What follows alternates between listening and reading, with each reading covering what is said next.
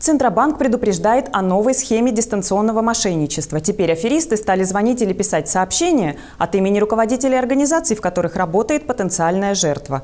Большинство из нас бдительны, когда звонят незнакомцы. Но когда ваш начальник сперва предупреждает о звонке из якобы правоохранительных органов либо банка, при этом входящий на телефон поступает с фотографией руководителя, его именем, фамилией и отчеством – Мошенники с помощью нейросетей искажают звук для схожести с голосом человека, от имени которого будто бы идет звонок. Введенные в заблуждение люди сообщают номера карт, выполняют команды по переводу средств на указанные счета. Схему уже обкатали на сотрудниках школ, поликлиник и даже полиции. Разговор о деньгах или банковских счетах и картах сразу должен насторожить. Мошенники не дают вам опомниться, давят, запугивают или обещают легкую прибыль, торопят с решением, просят или даже требуют перевести средства на какой-то мифический защищенный счет или выманивают реквизиты, самый надежный способ не поддаться на уловки мошенников – сразу же прекратить разговор.